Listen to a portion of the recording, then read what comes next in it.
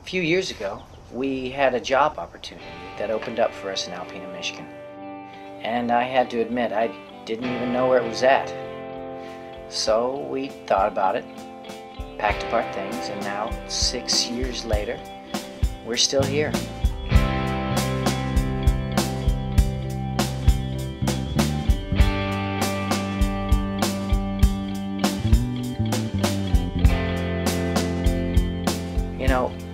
Moving here, well, I can tell you what I didn't expect. We didn't expect to fall in love with this city. Seems like there's always something going on. Between the live concerts, festivals, theaters, and music, well, let's just say it's not what we expected.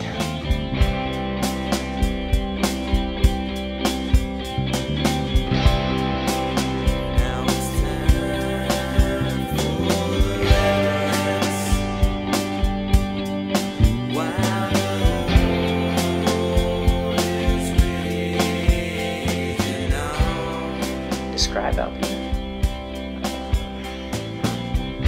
I guess it's it's hard to put into words. For us, well, now it's our sanctuary. I would say to everyone else